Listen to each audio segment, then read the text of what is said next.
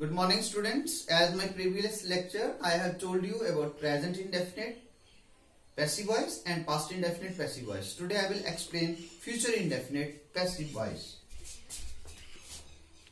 In future indefinite, to have learned only two things.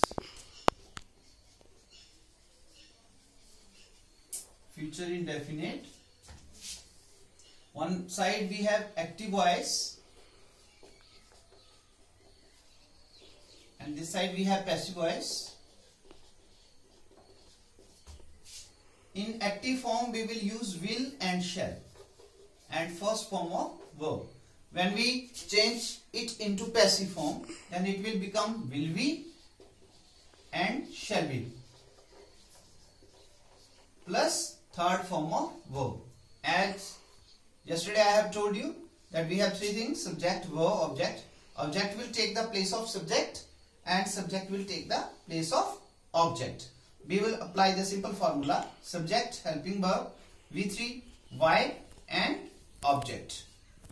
Same formula as we have done in uh, present indefinite and past indefinite. Third form of verb is the common. Whatever the passive we are doing, whatever the tense it may be. I am writing one example here.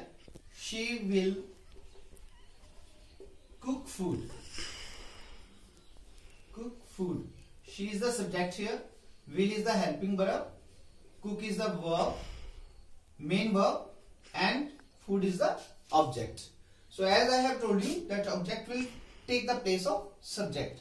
So food will come first. F will be capital here. Food. Now what we have to do? On the place of will we have to write will be. Food will be because it is a rule of passive voice. Food will be third form cooked by her. She will change into her. No, I will write the same sentence in past in interrogative form. Will she cook food?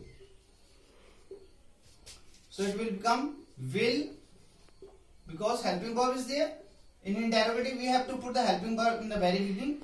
Will food that is object will change into subject we.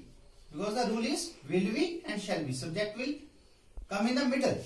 Will food be cooked by her? Cooked by her. Sign of interrogation is there. So students uh, from onward i will send you audio only. You have to listen and go through the exercises which will be assigned to you. Thank you.